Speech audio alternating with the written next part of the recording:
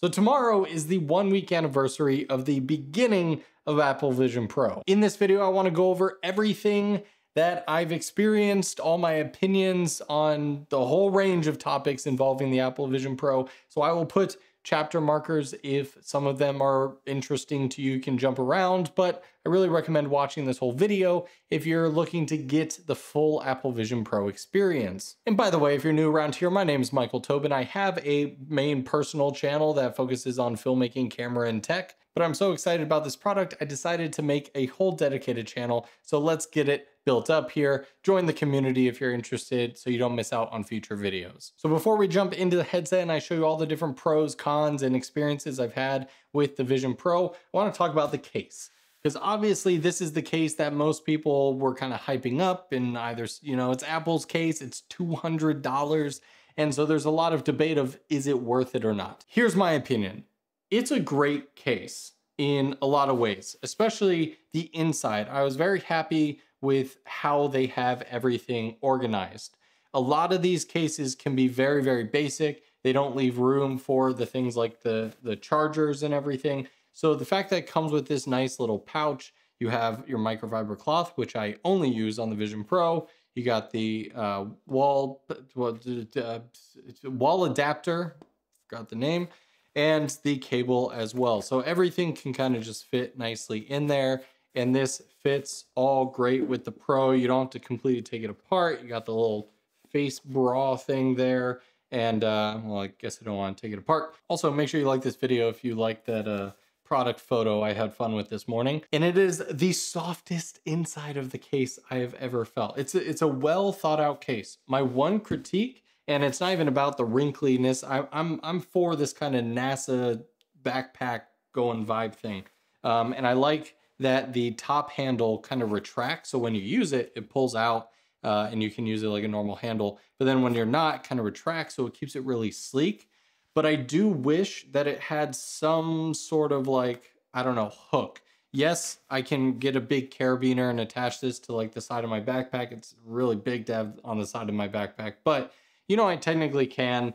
And you know that's that's is what it is that's really my only critique maybe if it came in like a black or a couple different colors besides white but just because i like it doesn't mean i'm to say this is the case you need to buy to protect your apple vision pro there are always third party uh, developers or creators of these accessories that make really good stuff and i've already seen a couple pop up out there um, and so i mean by this point if you search apple vision pro case on Amazon. I'm sure you'll get hundreds of results and I'm sure they're a fourth of the price and that's great. So my opinion is I'm never gonna say, go buy this $200 case, you absolutely need it. But if you're willing to spend the $200 and you're just wondering if it's a quality case, yes, absolutely.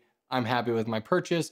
And even though there are more inexpensive options out there, I think I'm gonna be keeping this and not just because it has an Apple logo on it. All right, case done. So now let's jump into the Apple Vision Pro and gotta take off my hat. Alrighty, so now we are inside Apple Vision Pro and I'm actually gonna just bring up my notes for this video so I don't forget them. And I'll just place them on side here so you guys can actually see what I'm gonna be talking about in this video. So we already talked about the case. All right, so next up is comfort. So this is probably the biggest thing that I've seen people talk about, right? And it's been all over the place. Some people are like, this is extremely comfortable. Uh, some people are like, I can't wear this for more than a couple minutes. And I've gotten messages from the whole range of the spectrum.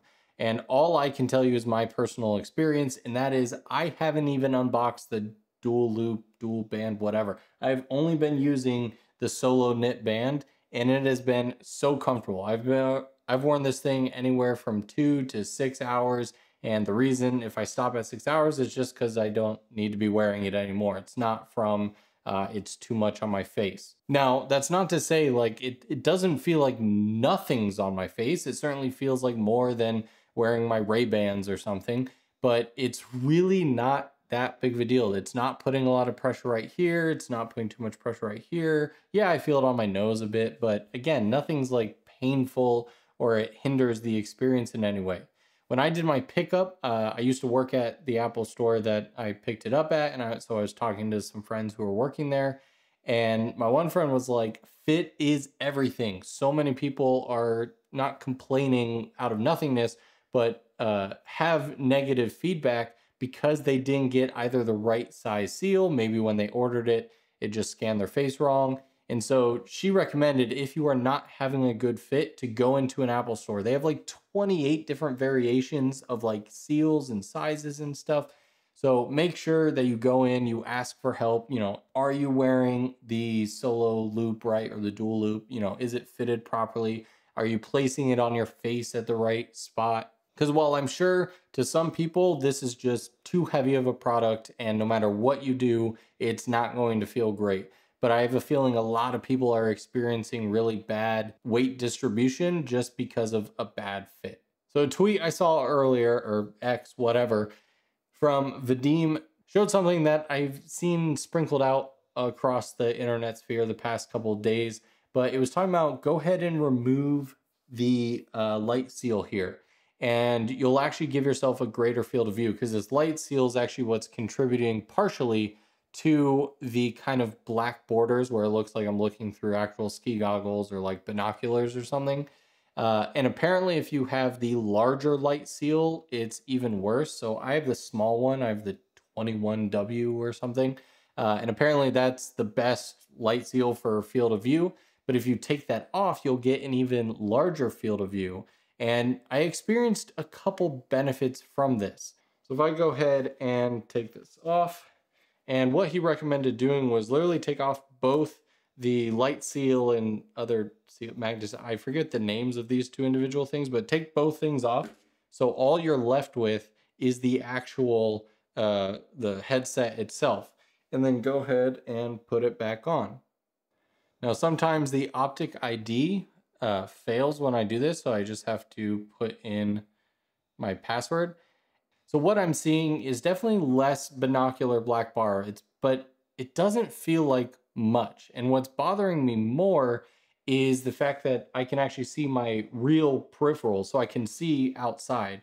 So if you're not in a dark environment, you're never going to feel fully immersed because you're always getting a bunch of light leaks because that's the point of the seal is to kind of seal all the light in and out. But I will say one advantage of doing this is if you are feeling the weight and the pressure of the Vision Pro on your cheeks or your forehead, uh, most of that feeling is gone. I don't feel it at all. It's not even touching my cheeks actually underneath here. So uh, that feels completely weightless. And on my forehead, it feels like it's barely touching it. So all the weight is actually on my nose. Now, to me, this still doesn't hurt. I don't know if I could go six hours, definitely an hour or two, probably. And I'm sure if I took it off after a long period of time, my nose would, you know, feel uh, like it, you know, was a bit sore or something. But I could see someone putting a little piece of foam, or I'm sure a third party accessory maker could, uh, you know, make something for it. Just realized that cable's looking kind of weird. But yeah, like this, this is an option. It still works. You do get a little pop up that says like the sensors are too close. And at first, I thought it meant that it was going to damage the screens. But when my dyslexic brain reread it, it was talking about how it could cause an injury as if you fall your face doesn't have any sort of padding between you and this metal and glass so you know you could severely like blind yourself if you get some glass in your eyes so i think that's what that pop-up is for but if you hit dismissed uh, it doesn't limit you in any way from using it so you can totally use it like this uh, which hey you know give it a try and see what you think but for me this this isn't the vibe I'm going for. So I'm going to put my seal back on. What's funny is I glanced over here to look at the my next talking point, but then I realized that my notes are only in my uh, Vision Pro. They're not actually floating. There we go. All right, so remove light seal, done. All right, so in terms of demos, there's a couple that you need to check out for yourself, or if you have already done it, you should show your friends and family. My favorite demos by far are if you go to the Apple TV app, uh, let me go back here so you can see, and you go up to the search bar on the left panel, this third option at the top, you'll see only on Vision Pro. So here, there's some experiences. These are all amazing if you have some time to dive into them. But I really recommend checking out this immersive uh, or experience immersive. it's like two and a half minutes, kind of a demo highlight reel, a mix of all four of these except for the prehistoric one, uh, as well as some clips from things outside of those. And it's just incredible. And that that I'm so happy it was one of my first videos that kind of played at me. Um, it, it's just remarkable. So definitely watch those in Apple TV. And then in terms of dinosaurs, like I said, there is the prehistoric planet. That one's really cool. But if you want to see the true sharpness capability of these screens, Encounter Dinosaurs is the one you've probably seen videos of because it's not copyright like everything on Apple TV. I can't actually click on and show you. Encounter Dinosaurs is the one where like the screen opens up in your room and the dinosaur like walks out in front of you and you have the butterfly on your finger. That is the sharpest demo that it's so clear, it's ridiculous. You have to try that one. And then my other favorite demo is spatial photos and videos, which uh, that one, if you're showing it to like friends and family who have an emotional connection to spatial videos that you have, uh, we'll touch on that in just a few minutes, but that one's a good one as well. So there's plenty of stuff you could demo, right? And but that's kind of the honeymoon phase of these devices. And so now that it's a week later, I'm not I'm no longer really doing those demos, right? I really need to experience uh, you know, what's the actual use case of this device. And so demos are great, but let's talk about some more uh, further things as we get deeper into the Vision Pro. So uh, lose track of time in here. This is a really small detail, but unless you get one of those clock widgets, which I recommend, the only other way to do it is if you look up at the top and you see your uh, control panel, I can see the time. But I'll tell you, especially if you're comfortable with your fit, man, two hours just blow by in here. It's so much fun. Even if you're not playing games, even if you're just working, you got a bunch of windows open around you, you just lose track of time. It's crazy. So just so you guys know, I'm on the 1.1 beta update. If you saw my video from uh, two days ago, uh, you show I showed how I was having some issues on the public release. And so even though I was a little nervous to do the beta update, because uh, just so you know, in case you don't, a lot of times if you have a beta developer option on like an iPhone, if someone goes crazy haywire, you can just plug your phone into the computer, kind of downgrade or reset the phone pretty easily. Apparently, if you need to reset the OS on the Vision Pro, you need to completely take it back to the Apple Store uh, or have the $300 dev kit. And uh, yeah, that that's kind of a problem. So be careful if you have access to the developer betas. Thankfully, 1.1 actually was a really good update for me. It fixed most of the bug issues. My screen recordings were only lasting for like five seconds sometimes. Um, and that was a major bug. The personas is another thing we'll talk about in that update. But yeah, I'm very happy that I did the 1.1 update, uh, but we'll see what new features get added. All right, so let's talk about the App Store. This uh, is a not necessarily a con, just kind of you know something that you know any day one early adopters are going to experience. The App Store, I, be, I know on day one they had 600 apps ready to go, and obviously over a million iPad apps that they kind of ported over. What's unfortunate is if you go here and oh, they finally changed it a little bit. Uh, all right, so this top part is slightly different, but not much to be. Yeah, it's actually no, it's it's pretty much all the same apps. Just these three new ones are put at the top. The App Store for Discovery has been, you know, lack of a better word, boring. There's not much going on here in terms of discoverability. When you first open it up on day one, it's fun. You know, you go in, you download some of these apps that stand out to you. You can see I've grabbed a couple but there's no like that one killer app that you just have to get that just makes this amazing. All right, I see they've started to break it down into categories. That's nice if I go into productivity. Yeah, there it's all the same stuff I've been seeing all week. And so really the place to go is you want to search uh, Twitter, X, whatever. Uh, search forums, just Google search like best Vision Pro apps. Even here on YouTube, some people have put together some good apps that they've found. But for the most part, I'm seeing the same apps kind of repeated over and over. And the fact that you know, a weather app or something makes it into someone's YouTube video saying most amazing apps ever for, for Vision Pro is kind of silly. It kind of shows you that there's not a lot of totally life changing, incredible apps as of yet. We are starting to get some exciting announcements. I mean, heck, just Adobe uh, launched that there will be the Lightroom as well as Firefly they just put in here. So the generative AI app is in here. That one is a cool addition. I'm happy to see. Hopefully, Photoshop comes. Uh, it's insane that Final Cut's not in here. Obviously, you have DaVinci Resolve, the iPad version. Um, but yeah, like exploring some of these apps, a lot of them, like this one, designed for iPhone and iPad, but work on Vision Pro. Uh, these are, you know, it's cool, but the App Store definitely needs to work on its discoverability because it's kind of exhausting having to like open up Safari and like search the whole internet just to find some cool apps. I'd love to be able to come in here, and I really think they should have had on this opening week almost updated daily of like different apps or something. I don't know. That's just my opinion. So now let's talk about uh, connecting to your Mac with multiple screens. So my experience is kind of mixed, to be honest. So watching, there's a really good YouTube video if anyone's recommended.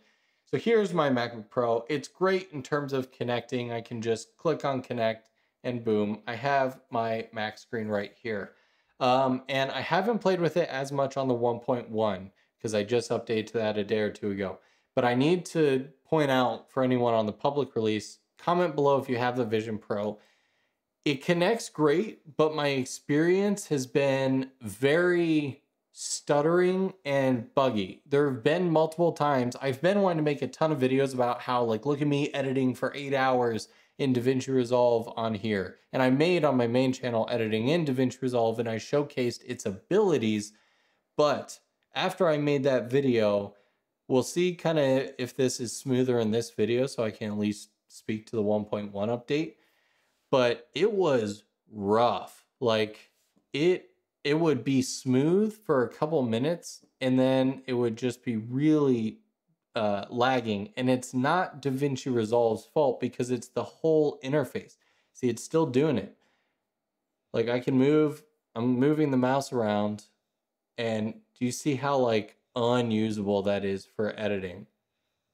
Like if your mouse is like, oh, now it's smooth, now it's perfectly smooth, and it's not like a performance issue because the processing of DaVinci Resolve is happening on your computer. So my computer obviously can this is an M2 Max computer can handle a DaVinci Resolve project file. That's not an issue. Uh, and so all the Vision Pro is doing is it just needs to cast the screen essentially. And so that's all the processing power it really needs.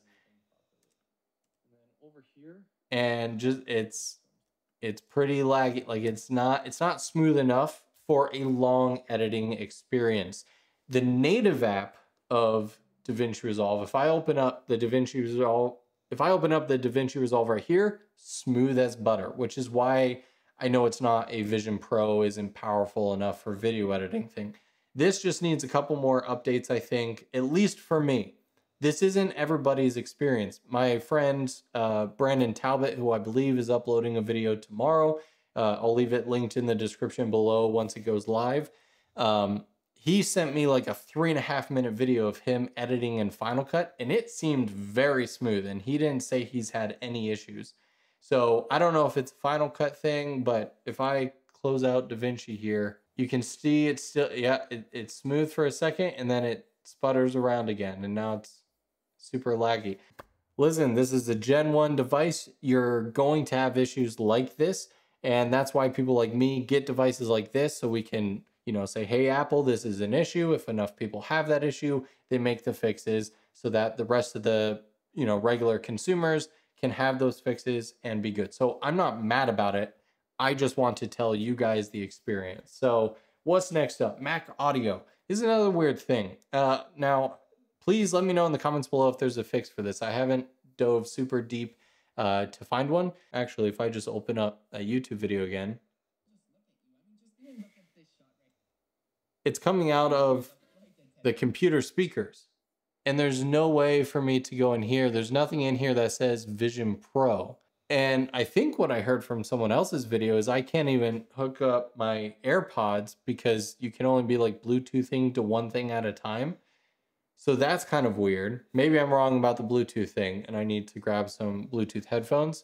But I do wish that if you were connecting, that it would automatically at least play from here. And then if not, any Bluetooth headphones came in. Because if I go on a plane right now, I don't want my speakers playing what I'm editing. Like I want that to be in my own experience as well. So that's kind of a weird little oversight or bug fix that needs uh, a fix. All right, so battery life. Close out of this. I love, I do love how quick that is. Oh, by the way, I also learned that if uh, you know to get the connect button, your Mac has to be open. But if you don't want to open it, you can go under Control Center and just do view mirroring right there and go to your Mac from there and it can remain closed. Yeah, battery life. Uh, battery life is about what I expected. I've been going for, well, you guys can see actually now, so over 30 minutes of use and I'm at 38%. I was using it for about an hour before that. Yeah, it's right around that, you know, two and a half hours or so of, you know, pretty intensive work going on. And then you just have to plug it in. And, you know, it, that's kind of the standard that we were expecting, right? So they they kind of set the bar. A lot of people were mad that they didn't put the USB C uh, kind of pass through charging on the bottom, but they were actually very smart because this goes in my pocket. And if it was on the bottom, there'd be no way for me to put it in there without like breaking this connection. So the fact that I can plug this in on top still put the bottom in my pocket and just have both cables coming out and I just have a really long USB-C cable going into the wall there. It's fine. I will say that it accepts up to a 60 watt charger, even though it only comes with a 30 watt in the in the bag uh, or in the box. I recommend getting a 60 watt charger and this thing charges really quick. So if I'm running low, I go sit at my desk to work and I'll plug it in. And for honestly not too long, maybe an hour in, hour and a half, uh, then I can look up and I've got a full battery again and I can disconnect and go back to walking around or whatever. It's not my notes, but I just thought of something else. Uh, I just want to say, someone coming from the Quest 2, I don't know if the Quest 3 does this. I'm guessing it does because it's not more of a talking point I've heard. Is my Quest 2, obviously, I need to scan and kind of draw the outline for the room every time. I got to like put my hand on the ground to show the controllers, hey, this is the ground, kind of build and map your environment every time you want to use it, uh, or at least if your environment changes. The fact that this thing is just scanning the room constantly so I can just walk around, amazing. I love that. So spatial videos and photos. I love this just as much as I thought I would. If I go into my photos here and I go into spatial, I love the fact that it's kind of a quick access thing. To be honest, I swore that I'd never be the person to sit in front of my dogs or, or kids or whatever and be filming with the Vision Pro. I thought I'd be doing on the iPhone 15 because that has a much better camera. But to be honest, it does have a better camera.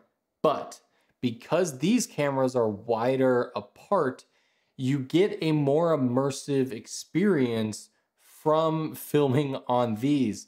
In addition to the benefit of you can still technically uh, interact with your environment. You have both hands free. And so that's kind of a cool experience. Anyone who has the Meta Ray-Ban glasses, uh, you know, you understand this pro. It's actually kind of a cool experience to be able to be recording what your eyes are seeing um, and still have both of your hands. Now, before anyone comments, huh, you're going to grow up and your kids are going to remember you with this big stupid thing on your face.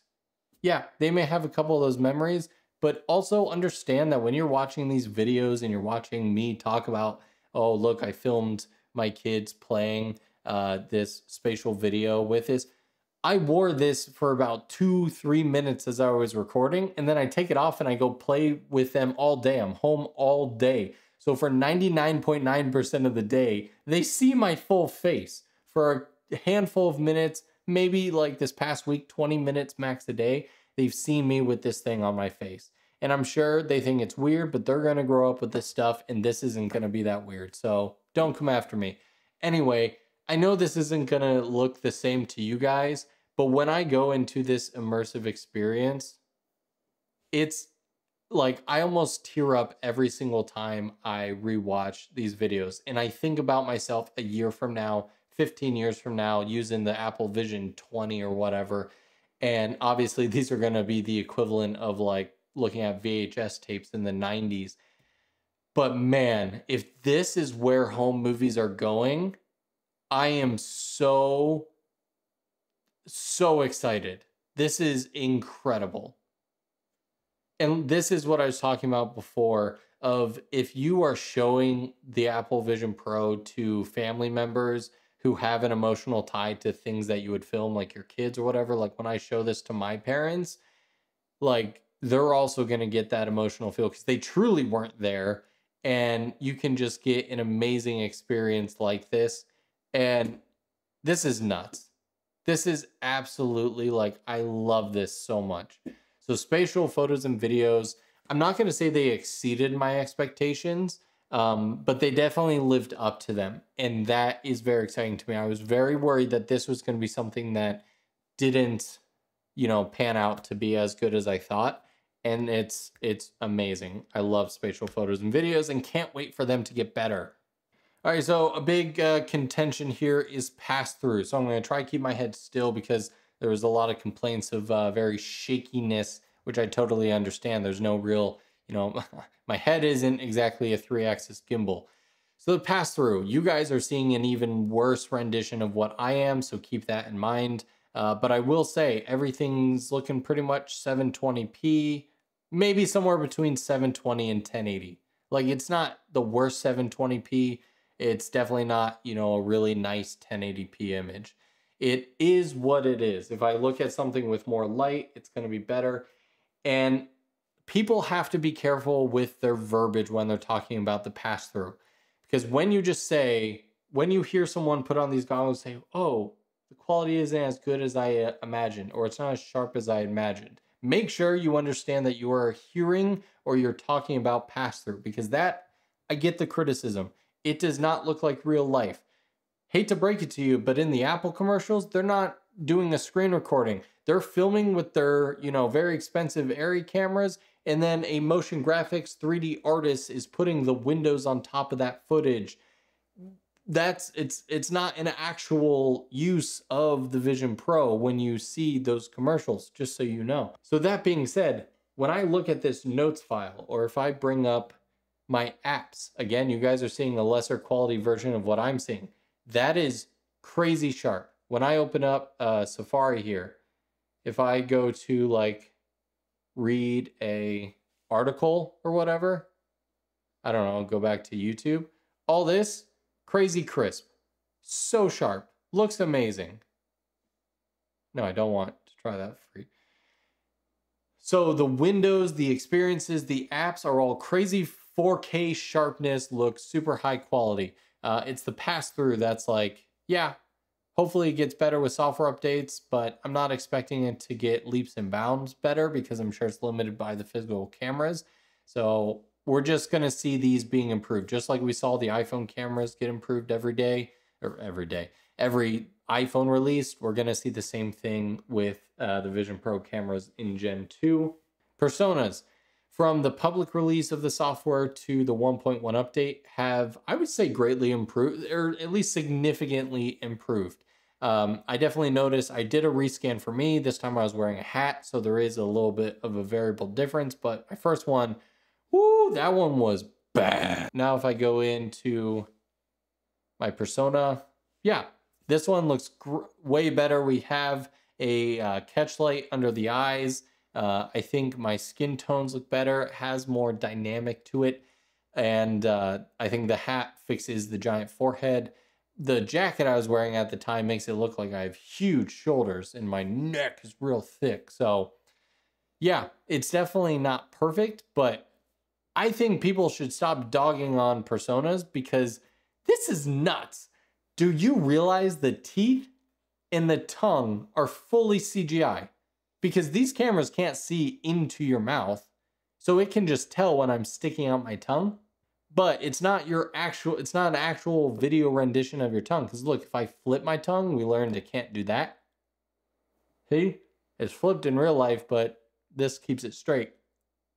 weirdest testing, but it's amazing. The fact that this is happening in real time is nuts. I don't see how anyone, like, I can see people, I can understand people laughing at it because it is kind of creepy, it's kind of silly, but it's also equally incredible. So that's Personas. Stability with many apps. This one also very impressive. For me, I was having some bugs. You actually saw it in my video from two days ago. Before I did the 1.0 update, uh, when I put things all around the room, it started to crash. But then when I did the 1.1 update, uh, that fixed it. And now I can have a bunch of games, windows, apps open, and I'm not really uh, seeing much of an issue there at all, which is really cool. And then lastly is what is the eye strain neck fatigue? I kind of talked about this in the beginning, but I've worn this thing for hours. Here we are, just, you know, 41 minutes later. And I can tell you, like, I'm not remotely tired. Nothing hurts. Um, and everything feels great. But I do want to say when it comes to the fatigue and stuff, while I don't have those issues, what you're not going to be able to escape, I don't know if you can see now, but I'm sure that I have quite the uh, ring on this thing.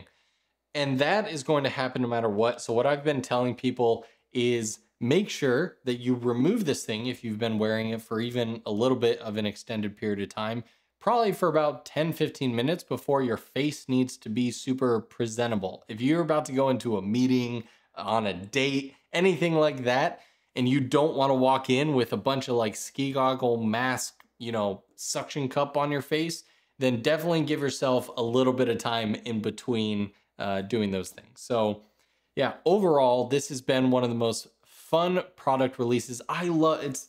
We've all been talking about it, but it's been so long since a new Apple product has been released where we can, as tech reviewers and tech enthusiasts, can just go, I have no idea how this thing works, and I'm going to figure it out. And you're going to find all these different Easter eggs. It's so exciting. And while I am excited at the rumors that iOS 18 is going to be this huge update, uh, this has just been an awesome experience. So let me know what you guys think down in the comments below. Uh, hopefully you enjoyed this long video. If you made it this far, oh my God, thank you so much. You get the best viewer award of the day. Um, if you hated it, please let me know in the comments below if you like it shorter or if you like these longer rants that are a little bit more raw. So that's it for now. I can't wait to show more about the Vision Pro experience. Thanks so much for watching. I'll see you guys in the next video.